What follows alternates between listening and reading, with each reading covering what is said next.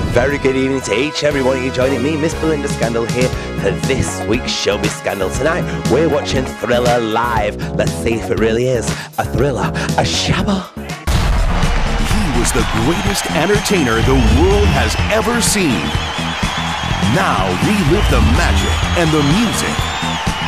Thriller Live. The ultimate concert spectacular celebrating the undisputed king of pop, Michael Jackson.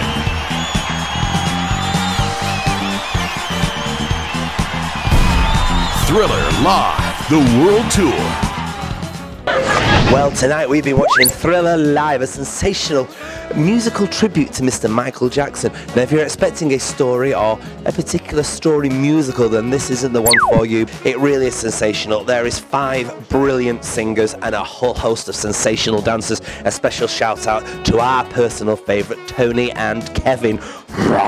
There's so many songs jammed into the two and a half hours that we have to watch this show. It really is phenomenal. And there's uh, Michael Jackson's actually in here, although the only disappointing thing about this show is it appears to be that the Michael Jackson mascot, as we're calling him for this show, um, appears to mime. A little bit disappointing, but nevertheless, the other four, maybe five singers make up for it. They really don't stop. It really is high pressure, high energy, and a fun night all the way through.